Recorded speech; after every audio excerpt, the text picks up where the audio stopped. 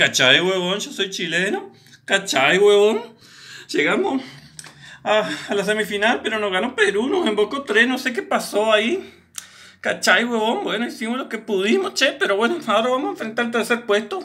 ¿Cachai, huevón? Estos argentinos, boludo, le vamos a quitar el tercer puesto, lo vamos a dejar cuarto, no vamos a comerme a Messi crudo y a todos los muchachos con Mordida Suárez, con Mordida Suárez allá vamos a avanzar, loco. ¿Cachai, huevón? No lo puedo creer que no lleguemos a la final, pero el tercer puesto se lo vamos a sacar a los argentinos, ¿cachai, huevón?